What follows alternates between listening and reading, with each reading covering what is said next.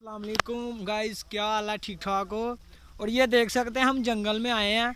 और ये हमारे रहमान भाई हैं आपको दिखाते हैं जंगल में कौन कौन सी चीज़ें वगैरह रहती हैं। और ये देखें हाँ जी रहमान भाई अब आप बताएँ इसमें क्या क्या रहता है और किस चीज़ का ज़्यादा खतरा है? सांप भी बहुत ज़्यादा है। सही सही। कौन तो, कौन से सांप है?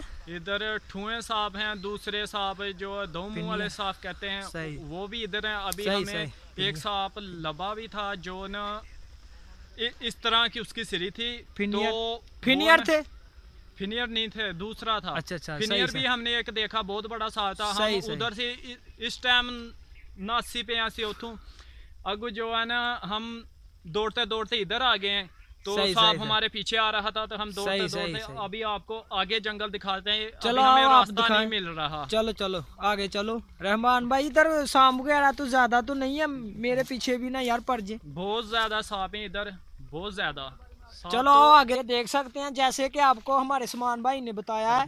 रहमान भाई। ने ये देखे ये देख सकते हैं इसके अंदर बहुत और जहरीले जहरीले सांप और हैं।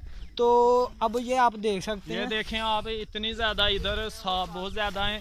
तो वैसे और भी बहुत चीज़ें हैं इधर ये देख। जंगली चीज़ें हैं। ये देख सकते हैं हम आपके लिए अब नीचे जा रहे हैं। ये देखें।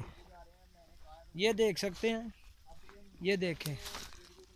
इधर बहुत ज़्यादा जंगली चीज़ें भी रहती हैं ये देखें। ये इसके अंदर भी स्नेक हो हो सकता है। सांप रहता हो। तो ये देखें।